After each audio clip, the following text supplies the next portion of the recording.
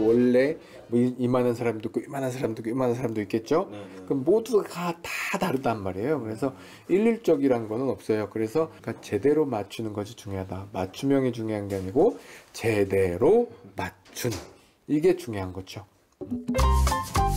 장치의 제대로 된 효과만큼이나 착용했을 때 편안함도 중요하다는 꾼. 때문에 수시로 고객의 불편한 사항들을 확인하고 수정해주고 있답니다.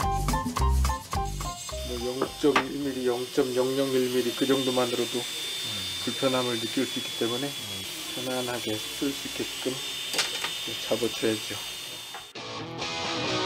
사소한 것 하나하나 세밀하게 신경 쓰는 꾼. 이렇게 코골이 개선에 노력하는 이유가